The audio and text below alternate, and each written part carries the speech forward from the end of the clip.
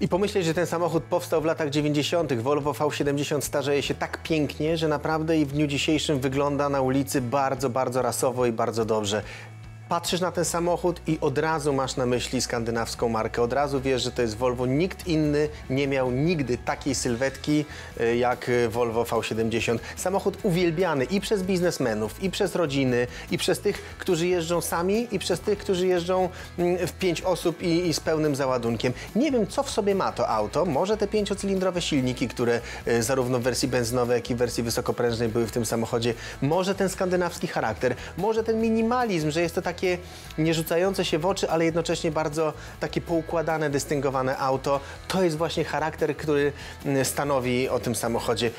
Tak sobie Volvo stworzyło swoją własną tożsamość, że z jednej strony da odrobinkę e, luksusu, a z drugiej strony da mnóstwo funkcjonalności i każdy, kto ma, nie wiem, e, lubi rowery, lubi konie, lubi e, podróżować z dziećmi, to taki samochód do wszystkiego mu się nada.